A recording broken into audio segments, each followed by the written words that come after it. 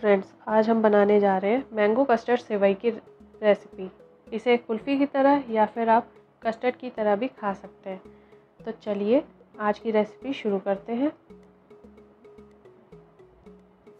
सबसे पहले हमने एक आम ले लिया है। आप चाहे तो कोई भी आम ले सकते हैं। एक चम्मच के करीब हमने इलायची पाउडर लिया है। चार चम्मच करीब हमने चीनी ली है। थोड़े से ड्राई फ्रूट्स लिए हैं और दो चम्मच करीब हमने कस्टर्ड पाउडर लिया है। इसके अलावा हमने रोस्टेड सिवई लिए, थोड़े अनार के दाने लिए और हाफ़ लीटर करीब इसमें हमने दूध का यूज़ किया है। अब हम एक ग्राइंडर में आम को डालकर, ये हमने आम को थोड़े छोटे छोटे टुकड़ों में काट लिया है। अब इसमें हम थोड़ा सा दूध डाल देंगे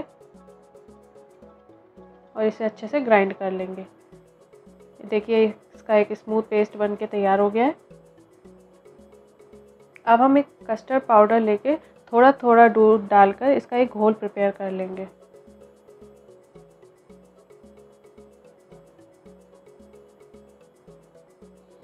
एक कढ़ाई में आधा लीटर दूध डालकर इसको हम उबलने रखेंगे। गैस का फ्लेम हमने मीडियम किया हुआ है। हमें इसे मीडियम फ्लेम पर ही धीरे धीरे दूध को उबालना है।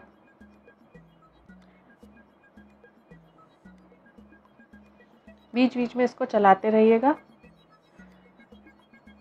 अब हम इसमें रोस्टेड सिवई डालेंगे। अगर आपके पास रोस्टेड सिवई नहीं है तो आप इसको थोड़े से घी डालकर भून सकते हैं। इसके बाद हमने इलायची पाउडर डाला है।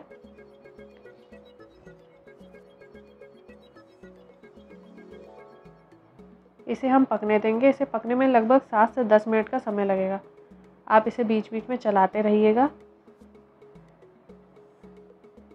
अब यहाँ हमने चार चम्मच करीब चीनी डाली है। आप मिठास अपने अकॉर्डिंग रख सकते हैं। और इसे तब तक मिलाना है जब तक कि चीनी बिल्कुल डाइ डाइजॉल ना हो जाए।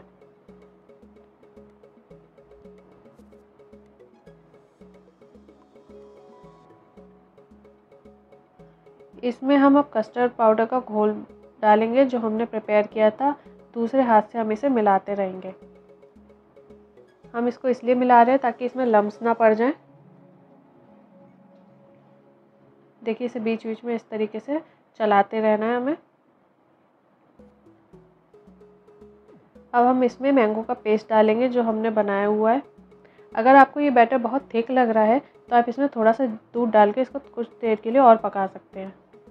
लास्ट में हम इसमें अब अनार के दाने डालेंगे थोड़े से। और देखिए हमारी सेवई बनकर तैयार हो गई है। इसकी थिकनेस भी ठीक लग रही है।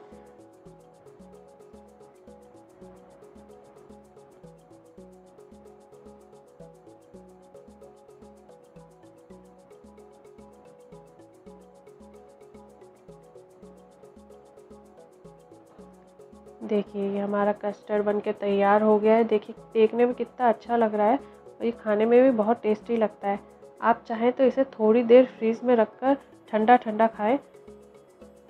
इसमें हमने थोड़े से अनार डाल अनारदाना डाले हैं।